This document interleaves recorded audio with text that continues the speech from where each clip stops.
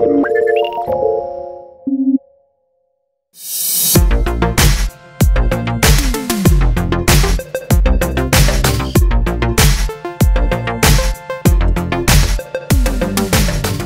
und herzlich willkommen hier auf der IFA. Ich bin Jan von Curved und ich bin hier zu Gast bei Wire. Das ist ein Unternehmen aus Israel, das ein, ja, einen Sensor entwickelt hat.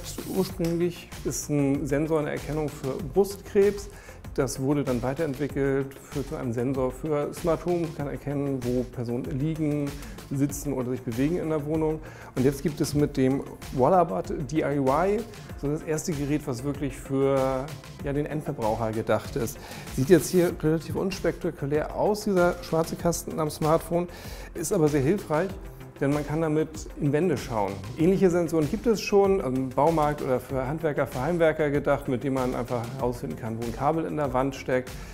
Das macht der Wallabat DIY auch, aber er macht es genauer. Also die Geräte, die es gibt, die machen das mit, ähm, ja, geben Töne von sich, die piepen laut, da leuchtet ein Licht auf, wenn ähm, ein Kabel oder Metall dahinter ist.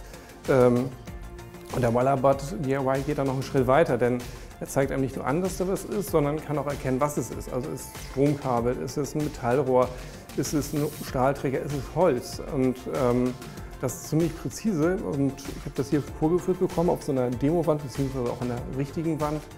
Und das ist, wenn man ähm, sich eine neue Wohnung einrichten will oder da in dem Bereich häufiger unterwegs ist, arbeitet, ähm, wirkt das für mich sehr hilfreich, dass man da einfach weiß, was einen hinter der Wand erwartet. Also dass man da keine Leitungen an Bord, die komisch gezogen sind und kreuz und quer verlaufen und nicht gerade, wie man das heute erwarten würde nach den Maßstäben beim Bau eines Hauses. Der Wallabat DIY ist inzwischen schon erhältlich, beziehungsweise die erste Charge ist schon ausverkauft, die nächste wird produziert, gibt es in Europa bzw. in Deutschland für 99 Euro.